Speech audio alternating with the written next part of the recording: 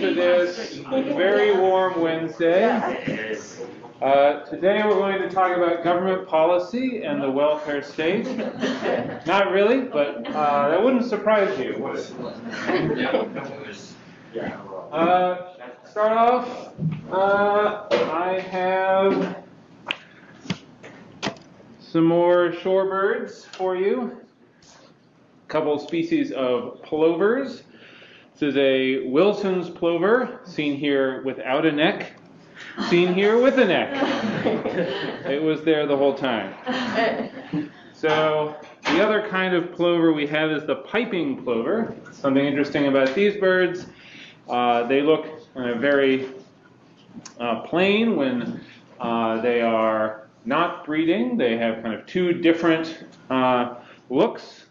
And so here they're just kind of looking for, for food, but when they're in breeding season, they get fancier and they have the kind of black eyebrow and black ring uh, around their neck. Here's one going for some sort of snack in the water. All right, those are our Wednesday birds. Any questions on the lab or any of the allocator stuff that we've been looking at?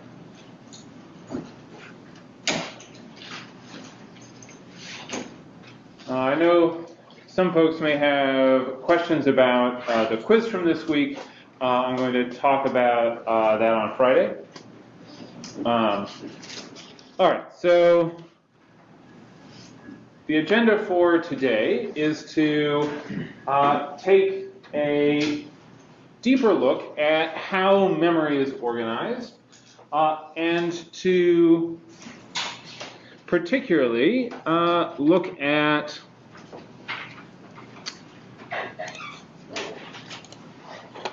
uh, a problem that has kind of arisen over time as it relates to the speed of accessing memory versus the speed at which our CPU can execute instructions.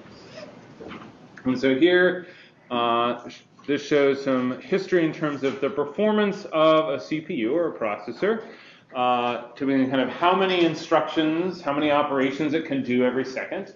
Uh, and for a long period of time, up until the mid 2000s, and we'll talk about how it flattens out here in a, in a future lecture, but for a long period of time, the performance observed what was called Moore's Law. Uh, and this, in practice, was processors got about twice as fast every year and a half. This was great, computers were getting faster. Uh, but unfortunately, the speed of reading and writing data from memory and a particular kind of memory called DRAM, and more about that later. But the speed of reading and writing from memory was not increasing at the same rate that the CPU was. So this meant that if the CPU needed to read or write from memory as part of doing an instruction, it was going to have to potentially sit around and waste a bunch of time. There'd be a long amount of time where the CPU could have been executing many instructions, but it was just stuck waiting for this communication with memory. And so we end up with this sort of memory bottleneck, where our CPU can access registers very fast, but we can't store everything in registers, and we have of main memory that we want to access, but this channel between the CPU and memory became a real bottleneck. Where for this particular Intel processor, which is uh, now a bit a bit old, but the Core 2 Duo could process kind of at least 256 bytes per cycle. A cycle is the amount of time it takes to execute kind of one instruction is how you can think about a cycle. And so when we're thinking about CPUs, we often think in terms of cycles, kind of just measuring kind of how many uh, uh, uh, rate of instructions. Uh, but transferring data between the CPU and memory took place at only two bytes per cycle. Furthermore, it would take between 100 to 200 cycles for this sort of round trip. So uh, uh, to, for the CPU to get some value from memory that it needs to do, even though what it needs to do with that value is probably one cycle, it might have to wait 100 to 200 cycles before that value actually gets to the CPU. Um, so this is a big problem. And uh, our solution is going to be something called caches. What we're going to do is, is we're going to say, well, what if we could put some smaller, kind of much smaller but much faster piece of memory kind of in between the CPU and main memory, where if the data that we need happens to be in this cache memory, we're not going to have to wait nearly so long in order to read or write it. And today's class is going to be about this hierarchy of memory. Uh, how do we use and arrange caches in order to solve this memory bottleneck? Questions so far? Kevin? Um, so is cache different from RAM? Yeah, RAM, RAM, RAM, yeah, RAM, RAM access memory. Is it, is it like a completely different thing or is it close? Uh, so I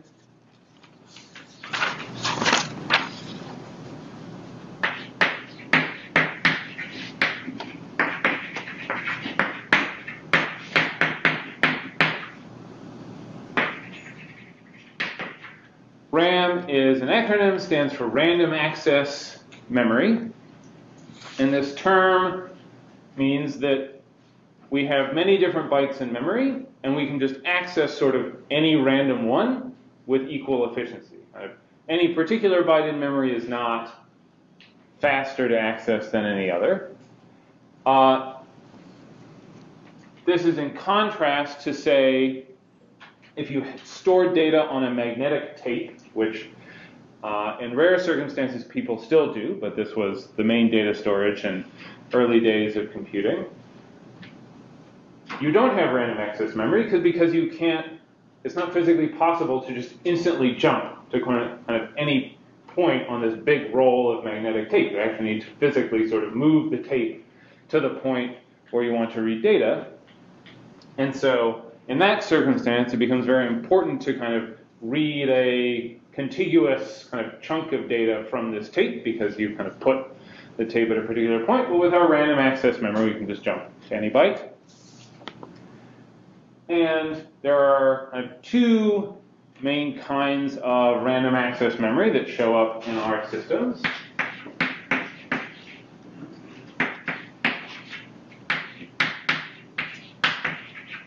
DRAM and SRAM. And the textbook has uh, some more details on these. Uh, but this D is dynamic, and the S here static. And our dynamic RAM, important things to know about it.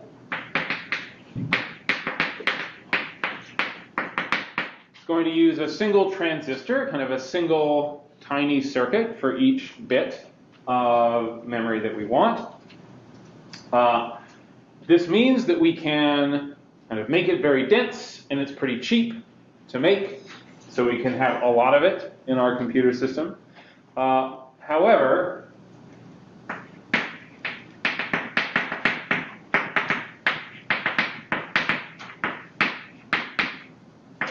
It's sensitive to disturbance, which means electrical fluctuations in the system can actually affect what is stored in this memory.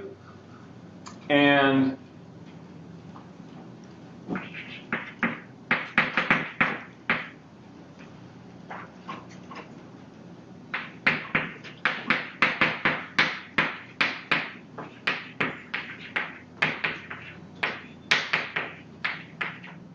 the dynamic part of it is that the data that we have stored in DRAM actually sort of drains, like the information just kind of uh, uh, uh, the, the memory kind of loses its information over a period of 10 to 100 milliseconds. And so the system actually needs to, at a fairly frequent interval, kind of refresh the values in DRAM to prevent them from uh, uh, draining away. Uh, and so we can have a lot of this, but it has some, some limitations. And our SRAM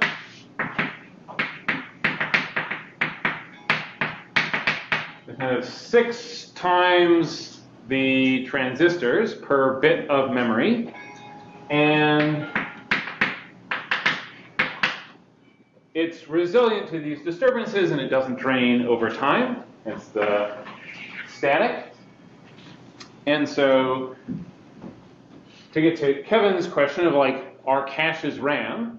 Uh, yes, they are random access memory, but caches will often be SRAM, which means kind of they're more expensive on a per bit basis, but uh, they're faster and don't require this, this refreshing. Angela. Could you explain the drains thing again? Like what's happening to the data? Uh, so each bit is represented by a voltage across some circuit, and this, uh, uh, like the the circuit does not hold this state indefinitely. It will basically kind of decay until it's kind of it doesn't it's not storing our information anymore. But Um, so with the one transistor versus the six transistors, is it the six transistors that make it more resilient? Yes, the, these circuits are set up so that they kind of maintain their value uh, in a way that you can't do with just a single transistor. Kristen? So what is the transistor? Uh, I am, I would say, I'm not prepared to describe in detail what a transistor is. Uh, but the way I think of it is it is it's basically the kind of smallest unit of circuitry that we have in a computer system. Um, and so it tends, uh, there's basically kind of some, usually like silicon bit with some conductive material uh, on top of it. And like when we talk about a CPU, we're typically talking about kind of or like millions or billions of these transistors kind of arranged into uh, the all the complicated circuits that make up uh, the computer hardware. Kevin? So I just wanted to, to make sure, so RAM is literally just a, an implementation of memory, right? So, for example, like, uh, back then, you silicon tape, you said, um, but now thing called RAM. Yeah, so so RAM is just a particular category of memory. It just says you have memory and you can kind of access any point in that memory kind of equally. You can just randomly jump to any point. All right. So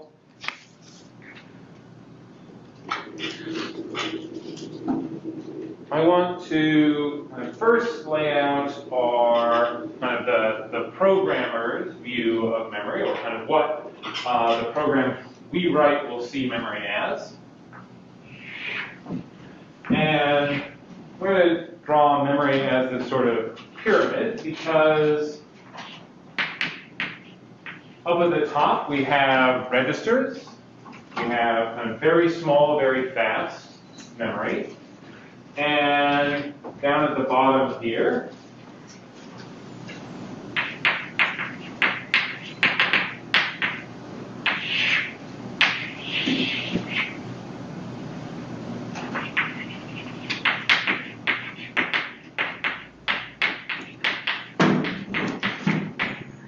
we might store data on a local disk of some kind, like a hard drive.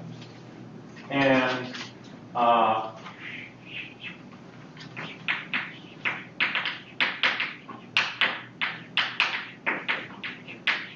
uh, we might also have data that we can access over the internet, um, which would uh, be potentially much bigger, but also slower than a hard drive actually in the computer we're using.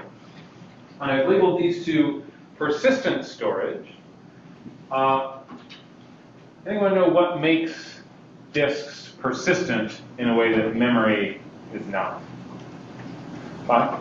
Well, is it memory controlled by current flow and disks don't, like, you don't have to have it turned on to be, to, to have data on.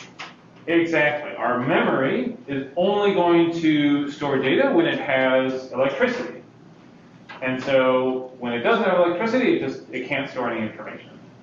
And persistent storage doesn't require electricity to maintain information. It's it can it's just sitting there, um, and nothing's going to, to happen to it if it doesn't have electricity. And so this kind of programmer's view, I've said we're going to have these caches and main memory, but as far as of programs are concerned, we just have memory. Like you access a memory address, some data comes back, and when we start separating memory into kind of different levels, this isn't going to change how our programs interact with memory. They're still just going to use a memory address, and this hierarchy of caches is going to be transparent or invisible to the program. It's not like you need some different assembly instruction to read data from a cache versus read data uh, from main memory.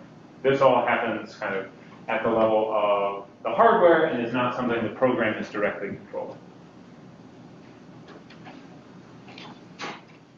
So, how do programs actually benefit from this idea of caching? And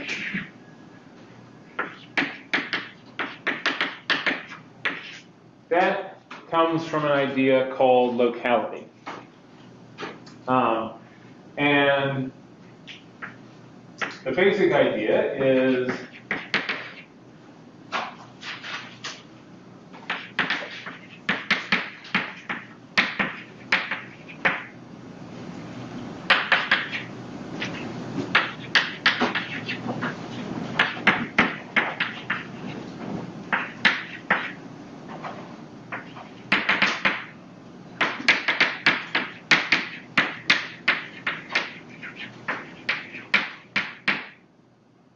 is that when a program accesses data, it's likely that that program will access that same data again, or will access data nearby the data that it accessed. So one way we're going to look at this is if we have an array in memory, it's some contiguous chunk of bytes divided up into the elements of that array.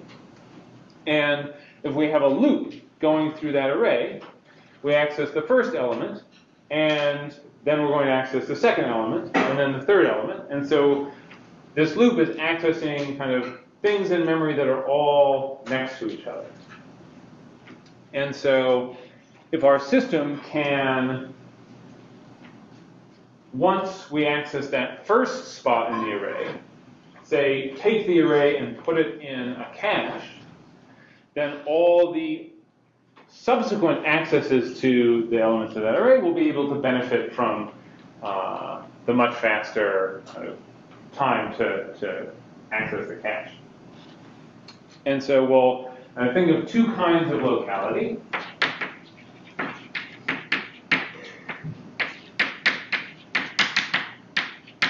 Temporal and spatial. Temporal is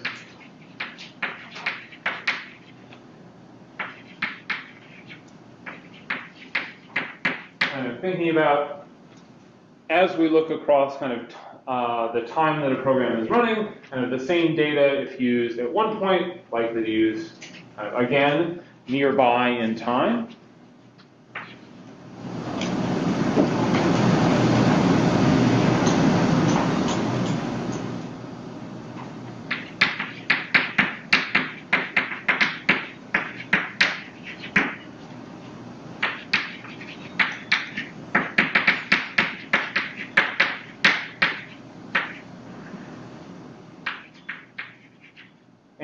Spatial locality is uh, thinking spatially in memory, like that array example. If we of access one memory location, likely that we'll access nearby memory locations in the future. This makes sense? Questions on this?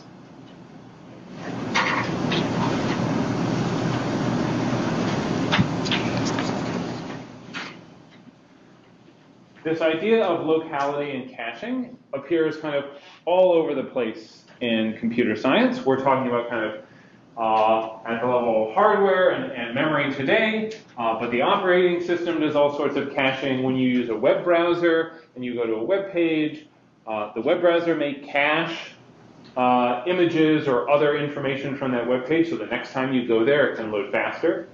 Um, and in general, caching is, and uh, this idea of locality of accessing the same data repeatedly uh, is very uh, a very powerful idea. So uh, before I give an, an example of kind of good locality versus bad locality,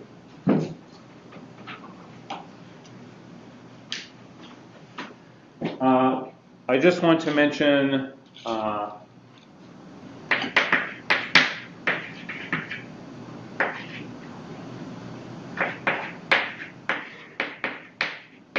the idea of multi-dimensional arrays, because when we're thinking about uh, locality and designing our programs to take it, taking take advantage of caches, uh, multi-dimensional arrays are often uh, a helpful example. And so, how many integers are in this array? Why? Yeah, why 100? Because it's two dimensions, so so we can like that.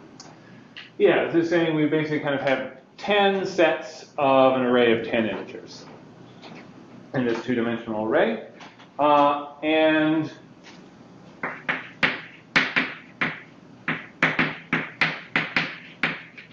these multi-dimensional arrays will be stored in what is called row major order, which says, okay, we're going to have a chunk of 100 contiguous integers. And if we look at that chunk of memory, we have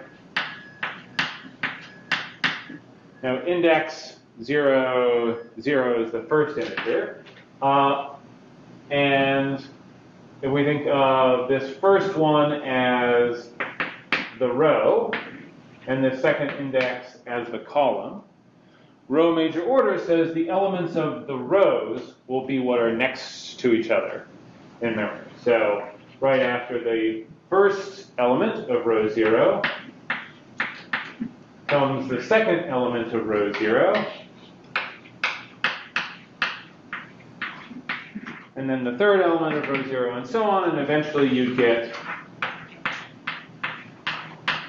the first element of the second row in kind of this chunk of, of 100 integers. Does that make sense how these multidimensional arrays get laid out in memory?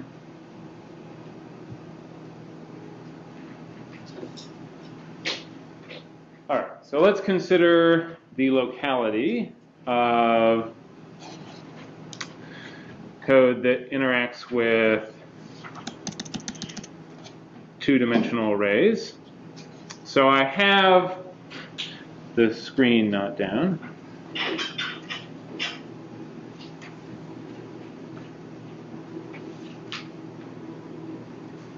So I have a function to sum up the elements of a two-dimensional array.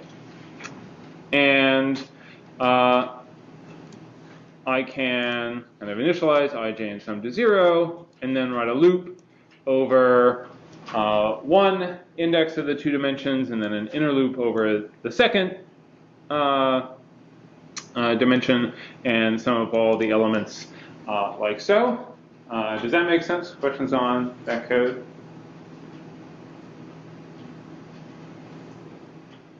So if we consider the pattern in which this code accesses uh, memory,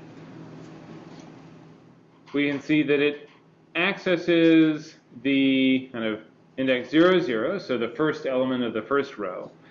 Uh, and then this inner loop is being used as kind of the index of the column.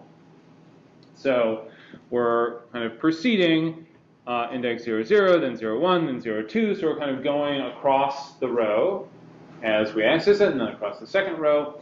Uh, and so given how the array is laid out in memory, uh, we would call this a stride 1 access pattern. Stride being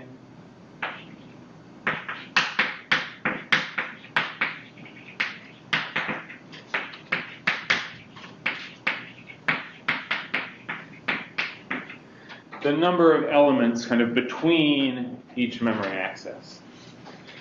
And so this, we're just kind of moving one just to the very next element in the array each time. Uh, and that gives us our stride 1 access pattern. And so I have kind of a diagram here. Each row is in a different color. You can see each row is kind of accessed uh, in order. Uh, and then we get to a slightly different version of this same code. Uh, what's different about this summing up of the 2D array? Liam? Um, the first for loop starts with J, so we're looping through the zero element of each uh, array. Yeah, all I've done is I've switched the two loops. So that now this inner loop changes this index each time. And so we're, as Liam said, jumping from the first element of the first row, then to the first element of the second row, and the third, and so on. And each row is n elements across. And so this would be a stride n pattern, kind of jumping n elements in memory every time we access uh, this array. And shown visually, it looks like this. We first element of the first row, first element of the second row, first element of the third row, then back to the second element of the first row. So kind of going down each column. And if you remember from our very first class, I showed you code just like this, which was going through a multidimensional array. And when I switched the order of the loops, it got something like six times slower. And that was just exactly what we're looking at here, going from a stride 1 to a stride n access pattern. And the reason that gets so much slower is that the whole system is designed to make programs with good locality faster. And so when you have a program with poor locality that's jumping all over the place in memory, it just doesn't get to take advantage of all the things that caches can, can help with. Questions on this?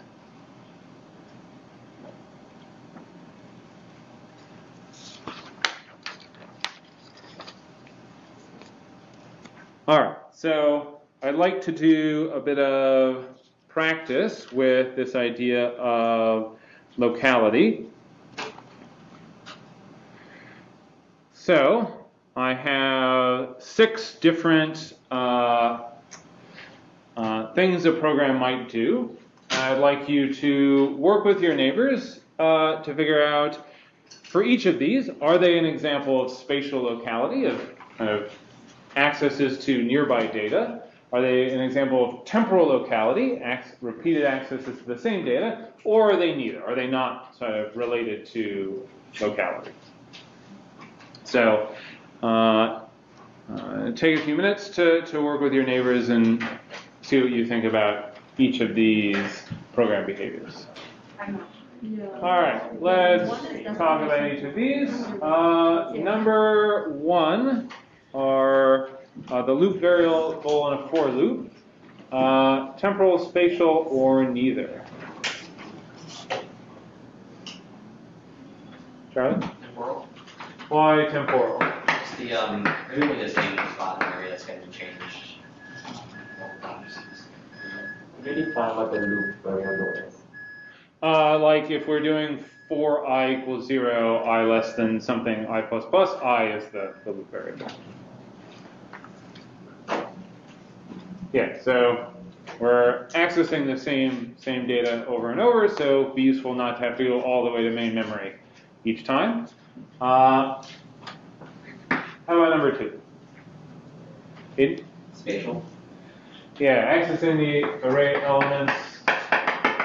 Why is that spatial? Uh, because elements of array are right next to each other in memory, so you're accessing nearby elements. Exactly. And if we bring a whole chunk of the array into a cache, now if we continue accessing them in order, we've made future future accesses faster. Uh, number three. Liam, Um, is it temporal? uh, why would you say temporal? Um, well, if the pro, is the program keeping track of how long it takes? Uh, so this is specifically the printing how long it takes. Rebecca? Um, we thought it would be neither spatial nor temporal because it like doesn't have anything to do with like actually accessing the data, just printing it. Yeah, that's that's that's how I would think about it. That like if we're printing out how long something took, you know, that's just not related to the pattern of data access in our in our program. How about number four, reusing a temporary array? You know, Uh, temporal, how's that? because I guess we're just using data we've used before, so it's already in memory. Yeah. Exactly. That if we've just used this array, likely could be in a cache, and so using it again is going to be efficient. Lysander? So would temporal and spatial? Like, because if you're reusing an array, um, would that, that also be that Yeah, I think that's a fair point. That uh, if we're using something that is sort of a multi-part structure, uh, reasonable to say it's both temporal and, and spatial. Uh, number five are uh, combining multiple variables into an object or struct. Becca? Um, spatial because then you're like putting the variables into like adjacent places in memory. Exactly. If we're going to be, these are related, so we're going to be accessing them kind of at the at the same time. Uh, useful to have them in some contiguous chunk of memory. Uh, Kevin, do you have a question? Yeah, I'll, I'll, I'll ask it. All right, and last, uh, passing function arguments as pointers. So this is say like you could pass the struct itself, but instead you pass a pointer to the struct.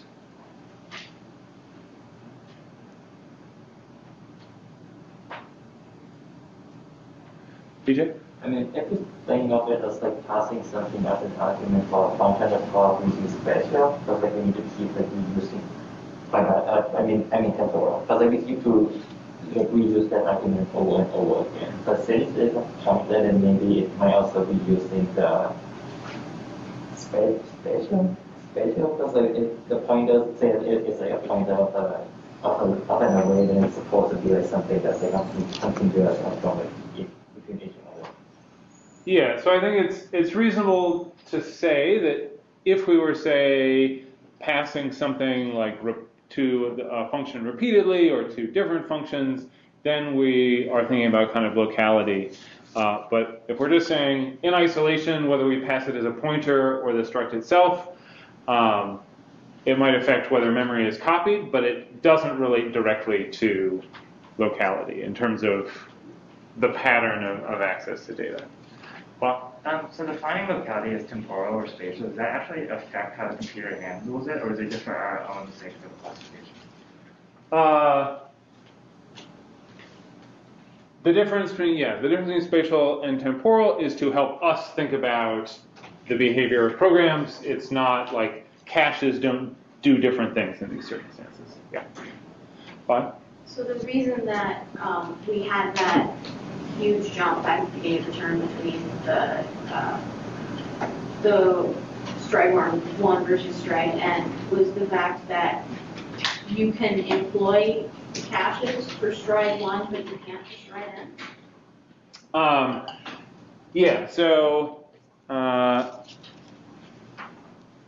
in a little bit, I'm going to kind of talk about a little more mechanically how caches work. Um, but the one sentence version is stride one. We find the data we're looking for in the cache a lot more often than stride n, where we're sort of jumping around and the cache will have what was nearby, but we're not accessing what was nearby.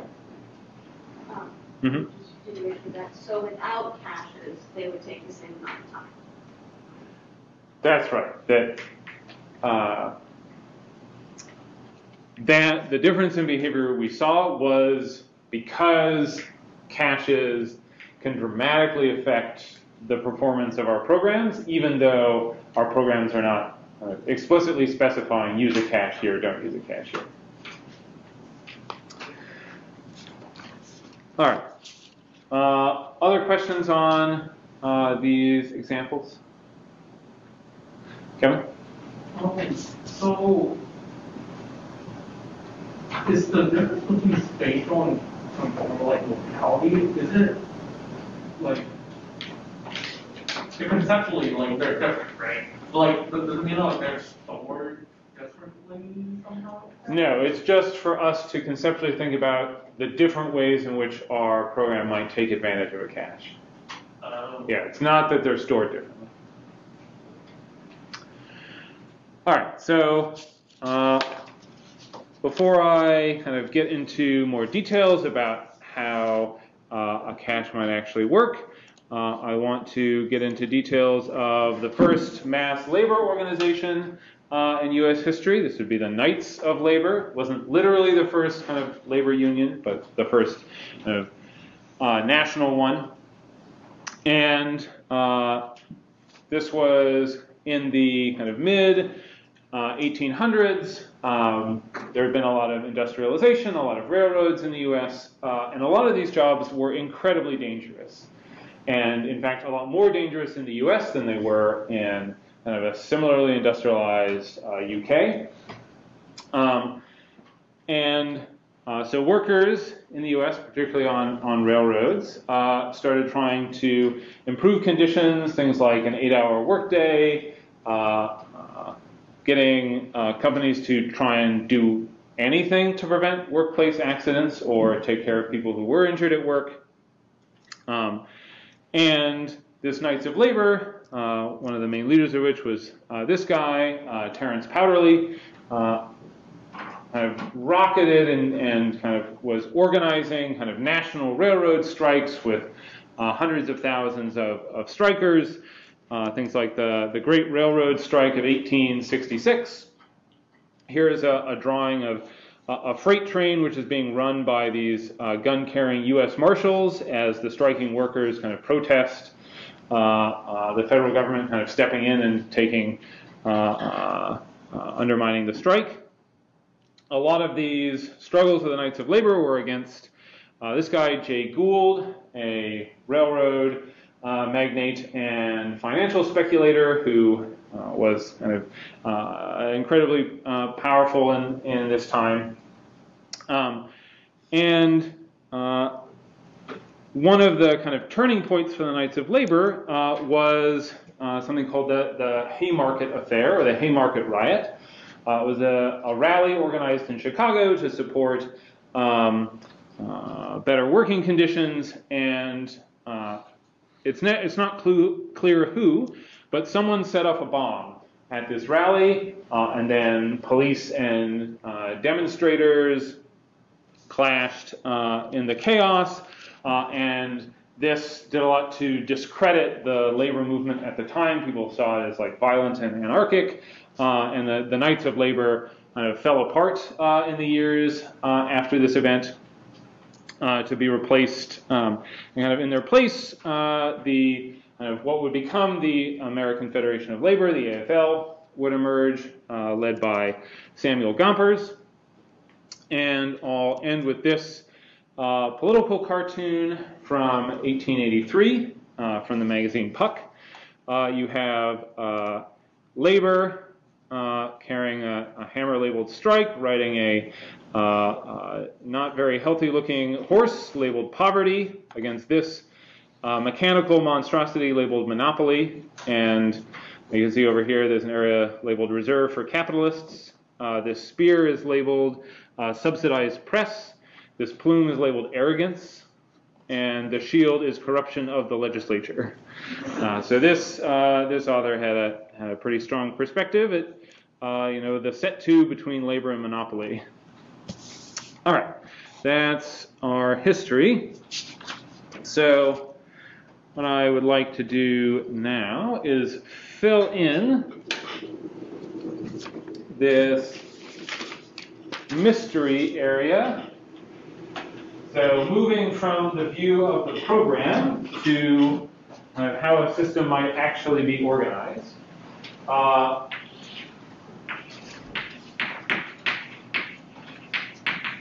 we have main memory, which, as we talked about, uh, would use uh, uh, DRAM. And kind of on many systems, you have multiple levels of caches.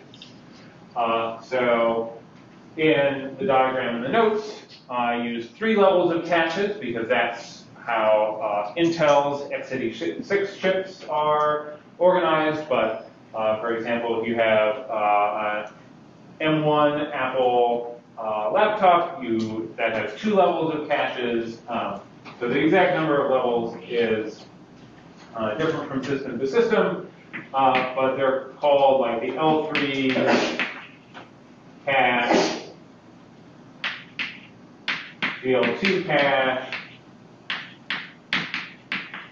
the L1 cache to represent these different levels. And all of these would be using SRAM. And the fundamental fact of this hierarchy is as we go up, we get memory that's smaller, faster,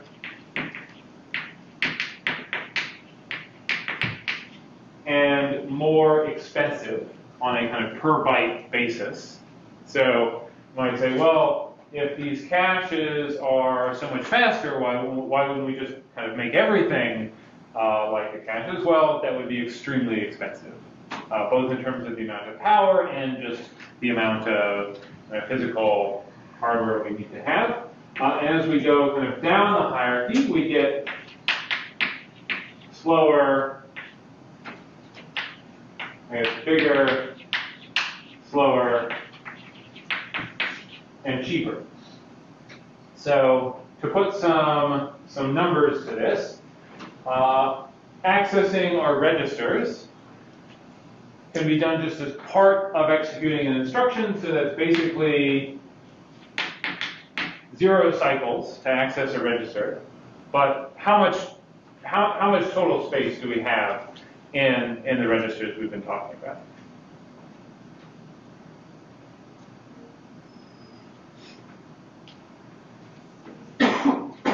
What? So I think like eight, each register has like eight bytes and we have like 12 registers, or more than 12. Yeah, well, I mean, we've been talking about the 16 general purpose, so like something like 16 times 8 bytes. So extremely small amount of memory in these registers. Uh, if we were to combine all the caches together, kind of across however many levels we happen to have, uh, we're talking something like 4 to 75 cycles to access data from a cache, so you know a lot slower than a register. But we have something like 10 megabytes, 10 approximately a million bytes, so many orders of magnitude more data than we can put in a register. Uh, and then when we move down to main memory, uh, we're looking at hundreds of cycles to access main memory. Uh, but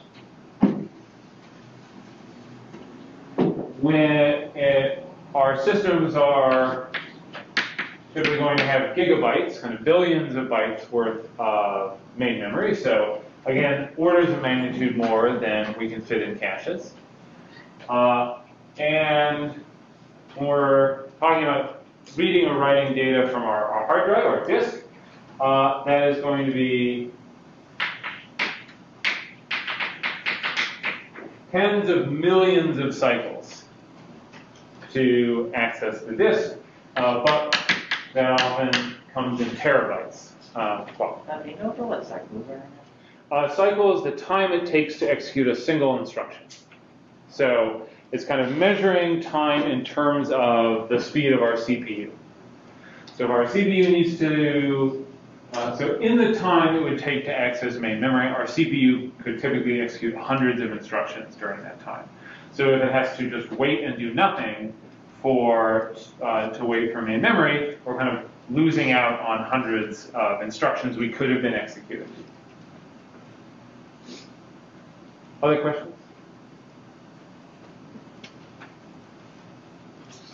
So, to give you kind of a, a, a metaphor for kind of what, how you might think about this hierarchy, uh, if I want to kind of have some, some avocado toast, if it's a register, the toast is like already made, it's on my plate, just need to eat it. If I have to go to the cache, I like have to go slice up the. I have the avocado, but I have to go slice it up and make uh, make the toast. Uh, if it's if I have to go to main memory, I don't have the avocado. I have to like get in my car, go to the store, buy the avocado, come back, make the sandwich. Uh, if I'm going to disk, I have to plant an orchard, grow the avocados, send them to a store, then get them from the store. So it's just an eternity to interact with the disk compared to other places of storage. So uh, when, uh, but of course the advantage is we have like orders and orders of magnitude more space, more stuff that we can put on the disk. Uh, so systems like databases, um, where they want to store a ton of data but access it efficiently, you uh, have to think very carefully about how they interact with the disk and ways to, say, use caching or clever data structures to make accessing the disk sort of manageable from a performance perspective. Questions on this? Fine.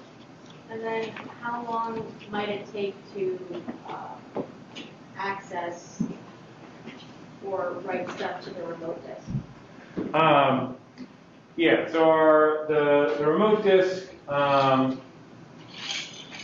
it could be comparable to the local disk if you have a, a very fast network. It could be orders of magnitude slower if you have a, a, slow network, so it's sort of bound by your, your network connection. Um, the main advantage is that you can have, again, orders of magnitude more, uh, more space because the number of hard drives that you could conceivably get to via the internet is much larger than the number of hard drives you could have in your computer. Um, but I would say kind of the, the remote disk is just a lot less predictable because it relies on kind of the unpredictable network. So I would say it kind of ranges from similar, like tens of millions uh, of cycles, up to like an unbounded amount of time where you just can't actually access the, uh, uh, the remote storage. Other questions? Kevin? So, I, I don't know if this but, um, is the cache, so, so, so, so cache is stored on like the physical hardware, right? It's stored on the RAM stick. And then main memory, local disk, remote disk, those just like the hard drive, like SSD, hard drive, hard drive. Uh, so everything from local disk on up is part of the actual like stuff in your laptop or, or the computer system. Uh, main memory is a kind of RAM, usually DRAM. The caches and registers, also RAM, but the more uh, faster, stable, expensive kind, SRAM. Uh, and local disk uses different technologies. You mentioned SSD, standard solid state drive. Uh, that's what you'll find most often these days, uh, though you will you can find uh, computers with what are called spinning platter drives. There's some like a set of kind magnetic disks which are uh, holding the data, and there's uh, like a kind of a, a read and the, the disk actually spins so that a kind of head can read off the data that are on the disks. Um, fine. Are those mechanical drives? Yes. So hard disk drives are mechanical, kind of uh, HDDs, hard disk drives, mechanical drives refer to these usually these kind of spinning uh, platter disks.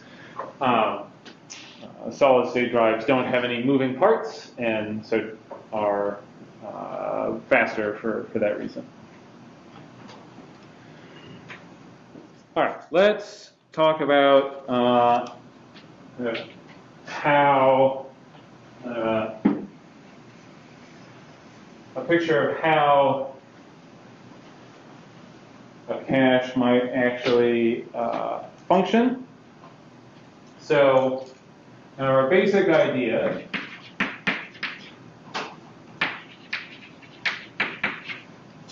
is that our cache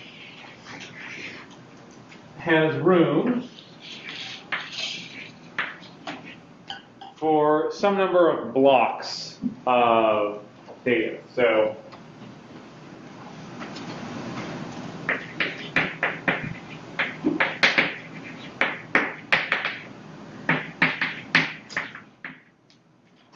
and a block of data is just some number of bytes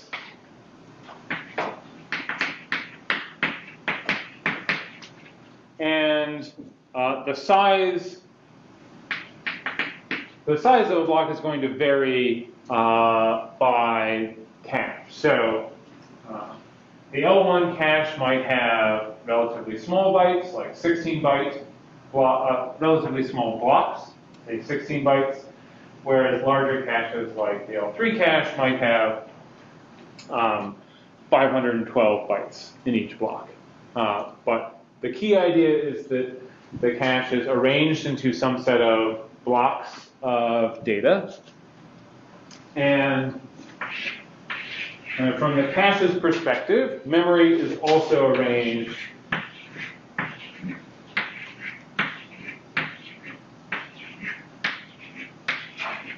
into these blocks. Fine. Um, so for the caches, is it, what varies, is it how many blocks or the size of the blocks? Uh, both. Uh, yeah, so uh, we won't get into the nitty gritty of kind of all the different parameters that govern the structure of a cache. If you're curious, the textbook has uh, kind of probably m- more information than, than you uh, care to know about that. Um, but let's say that in this picture, uh, we have, we'll just label these blocks.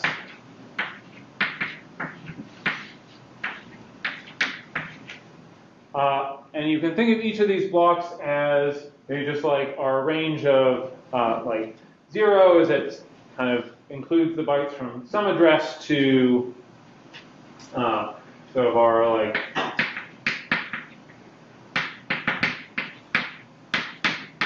if our block size was 16 bytes, then uh, this block zero would be the first 16 bytes of memory, then the next block would be the next 16 bytes, and so on. Um, and the way this works is that when the system, uh, when the CPU kind of accesses a particular memory address that's anywhere within a given block, that entire block gets copied into the cache.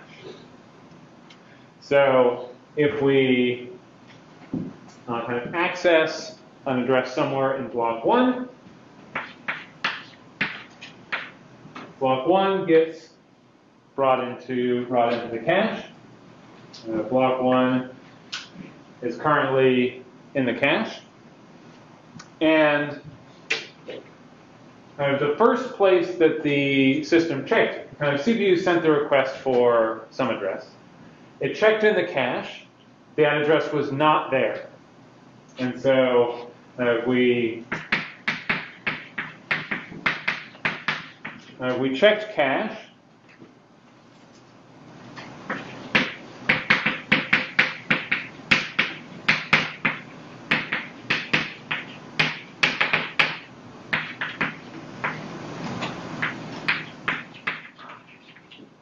first was we checked the cache for the address that we were looking for. If the address was present, we get what is called a cache hit, meaning we found what we were looking for and we stop here. We can just send the data back to the CPU.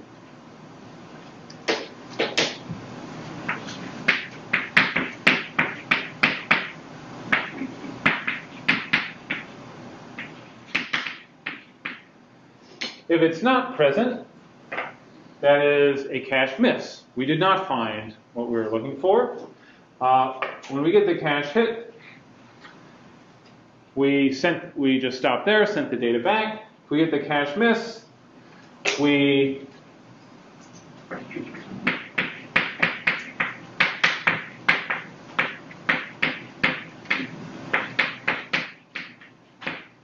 basically repeat this at sort of the next level in our hierarchy.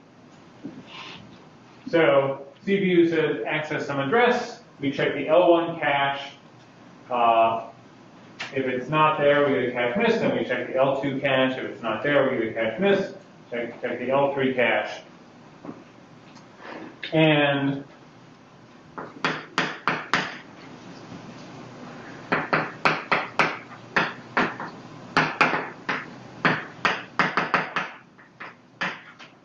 when we get a cache hit, we copy it all the way back up the hierarchy. So what I mean is if we're looking for some address, we go all the way down to main, we have missed in L1, L2, and L3, we find it in main memory, we're then going to copy that block into L3, and then copy that block into L2, and then copy that block into L1. And know, the, one way to think about this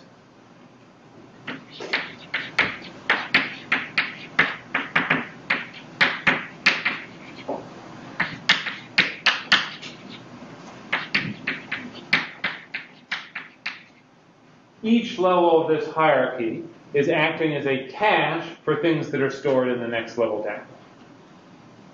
So everything that's in the L1 cache is also in the L2 cache. Everything in the L2 cache, also in the L3, and so on. And if we continue with this, we access uh, an address in block 4, an address in block 8, We've copied those into our cache. Then we access an address that's in block 6. We look in our cache, it's not there, so we go to the next layer, we find it in 6. What do we, like, we don't have room for it in the cache. So what should, if we found it, we want based on locality, we want, we're, we're thinking it, it might be accessed again soon, so we probably need to put it in the cache. How might we choose, like, what to do in that situation? What? Would you just overwrite the cache that hasn't, has been used least recently? Yes, this is a very common uh,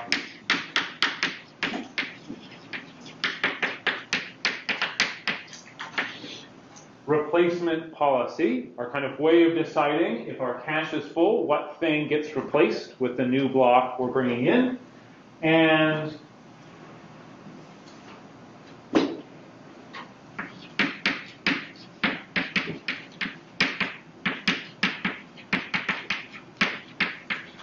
least recently used, or LRU, very common replacement policy. Kind of makes intuitive sense if we're thinking in terms of locality the data that was used the longest time ago, seems like maybe we can make a, a, safe guess that it's not going to be used again very soon.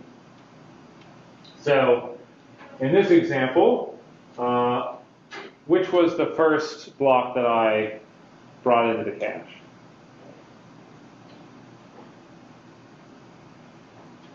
Yeah?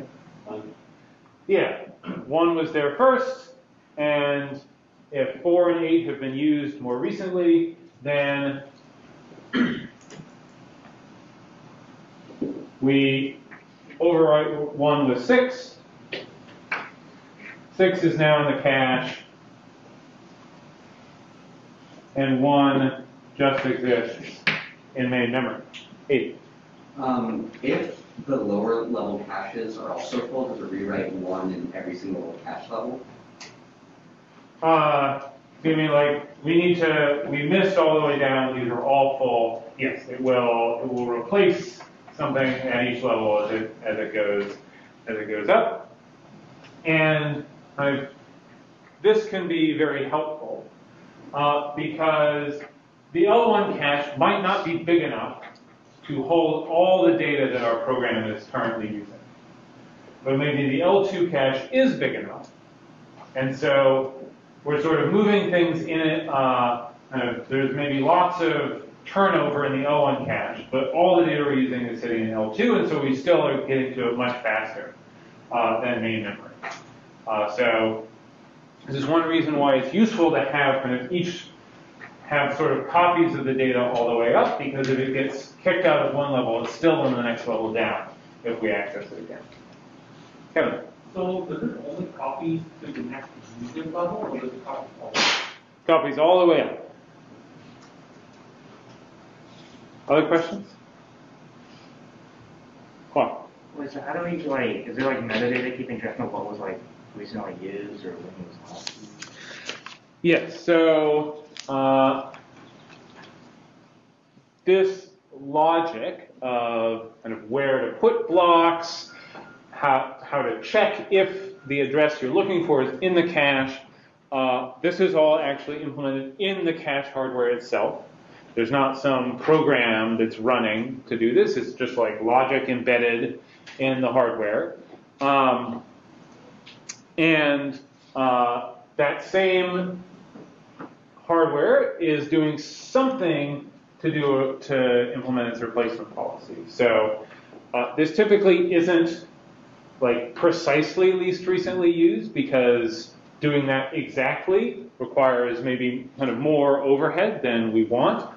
Um, so you might have something of just remove something that is not the most recently used or some other sort of approximation of least recently used. Rebecca? Um, so what would be like another replacement policy besides least recently used? Um, so one one policy that uh, is very simple and fast and can be useful in some circumstances. Just replace a random block. Um, there are some cases where most recently used is actually a good policy. Um, if you are, um, like, if the data that you just used, you are done with that and you're never going to use it again, but you are going to use some other, you're going to keep coming back to some other data, then the most recently used might actually be the kind of optimal thing to, uh, uh, to replace. Um, one approximation of least recently used that's very common is uh, called uh, the uh, clock algorithm. Um, and I think it gets the name thinking of the hands of a clock sort of sweeping around. And it just says periodically kind of go through all the blocks and mark them as, uh, uh, uh kind of mark them as this, uh, like tag them all, like the clock has, has touched them. And then the next time the clock, and any time they're accessed, you mark them so the clock goes through, marks everything as this hasn't been accessed. And whenever it's accessed, you mark it as accessed. Uh, and then when the clock goes through again, if it sees something that is still marked as not accessed, it now kind of knows that's um, that has not been accessed for kind of two uh, uh, cycles of this, and so it can uh, maybe safely be kicked out of the cache. Other questions? So I think I'll just close with a picture of a real or an actual cache structure.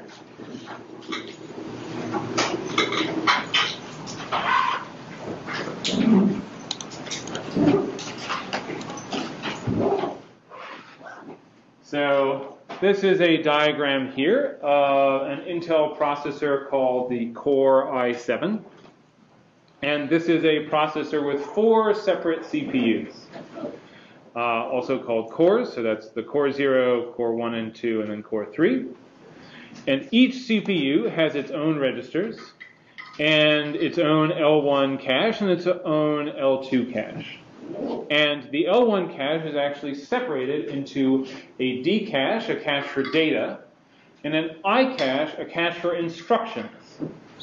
Because instructions are also stored in memory, and we also have to like go to memory to access them. And so we also would store those in a cache. And they can also benefit from locality. For example, if we're repeating the instructions of a loop, we're accessing the same data, the same, the, the same instructions in memory over and over. And then there's, uh, in this case, an L3 cache that is shared across all these cores. All right, that's all the time we have for today. Uh, Lab 4 has been posted. Uh, the thing you should do today is to fill out the partner survey uh, because you can work on work with a partner on labs 4 and 5. Uh, you can opt to, can also work alone, uh, but you can choose your partner or ask to be matched with a partner. I expect everyone to fill out that survey. Uh, I have office hours shortly, and I'll see you on Friday. Thank you.